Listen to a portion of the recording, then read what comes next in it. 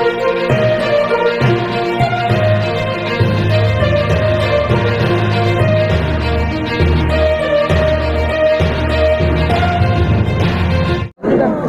ମୁଁ ତ ପ୍ରଥମେ ତ କହିଆସିଛି ନିର୍ବାଚନ ମୁଦ୍ଦା ଆମର ରହିଲା ଯେ ଆମର ବିଜୁ ମାନ୍ୟବର ମୁଖ୍ୟମନ୍ତ୍ରୀଙ୍କର ଯେକୌଣସି ଯୋଜନା ଗୁଡ଼ିକ ଅଧୁରା ରହିଯାଇଛି ସେଗୁଡ଼ିକ ଆମର ନିର୍ବାଚନ ମଣ୍ଡଳୀରେ ଆମେ ପହଞ୍ଚାଇବୁ ଜନତାମାନଙ୍କ ପାଖରେ ଆଉ ତାଙ୍କର ମୌଳିକ ସମସ୍ୟା ଗୁଡ଼ିକ ସବୁ ସମାଧାନ କରିବା ପାଇଁ ପ୍ରୟାସ କରିବ ଆଉ କ'ଣ ରହିବ ମ୍ୟାଡ଼ାମ୍ ଯେ ଯେଉଁ ଲୋକଙ୍କ ନିକଟକୁ ଯିବେ ଯେଉଁ ପଚିଶ ବର୍ଷର ସରକାର ଅଛି ଆପଣଙ୍କର କ'ଣ ତାର ସଫଳତାକୁ ନେଇକି ଲୋକଙ୍କ ନିକଟକୁ ପ୍ରଥମେ ତ ଗମନାଗମନ ଆଉ ପ୍ରତ୍ୟେକ ଗରିବ ପିଲାମାନଙ୍କର ପଢ଼ାପଢ଼ିରେ ଆମେ ସେଗୁଡ଼ା ସବୁ ଦେଖିବୁ ଆଉ ଛୋଟ ଛୋଟ ଯେଉଁ ଆମର ପ୍ରତିଭାମାନଙ୍କର ଲୁକାୟିତ ଅବସ୍ଥାରେ ସେମାନେ ଅଛନ୍ତି ସେମାନଙ୍କୁ ସବୁ ଆଗକୁ କେମିତି ଆଣିବୁ ସେଗୁଡ଼ାକ ଆମେ ଦେଖିବୁ ଆଉ ବେକାରୀ ସମସ୍ୟା ଯେଉଁ ରହିଛି କେତେକ ବାକି ଯେଉଁ ଯୁବକମାନେ ଆମର ପାଇନାହାନ୍ତି ସର୍ଭିସ୍ କି କୌଣସି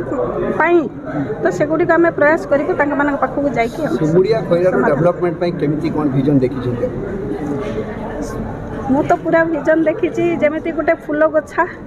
ସୁନାର ସଂସାର ବିନା ଦ୍ୱନ୍ଦ୍ୱ ରାଗ ଈର୍ଷା ଦେଶ ଏଇ ସ୍ୱପ୍ନଟା ମୁଁ ଦେଖିଛି କ'ଣ ସମସ୍ତେ ଯେମିତି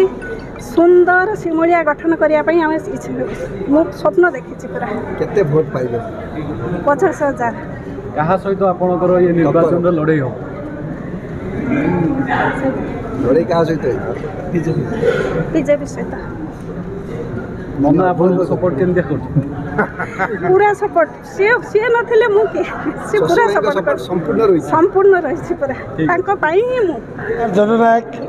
मुख्यमंत्री श्री नवीन पट्टनायक सबै मिशन शक्ति नारी सशक्तिकरण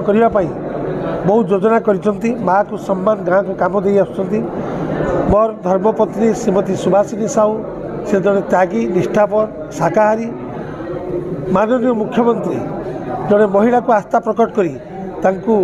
ଆଜି ନିର୍ବାଚନରେ ଘୋଷଣା କରିଥିବାରୁ ତାଙ୍କ ନାଁ ମୁଁ ଅତ୍ୟନ୍ତ ଖୁସି ଅଛି ଅନ୍ତରାତ୍ମାଙ୍କ ସହିତ ତାଙ୍କୁ କୃତଜ୍ଞତା ଜ୍ଞାପନ କରୁଛି ନୂଆ ସ୍ୱପ୍ନ ଆମେ ନେଇକି ଆସିଛୁ ଯେଉଁଠି ଗର୍ବ ନଥିବ ଯେଉଁଠି ଅହଙ୍କାର ନଥିବ ଯେଉଁଠି ଆକ୍ରୋଶ ନଥିବ ଯେଉଁଠି ଧର୍ମ ଥିବ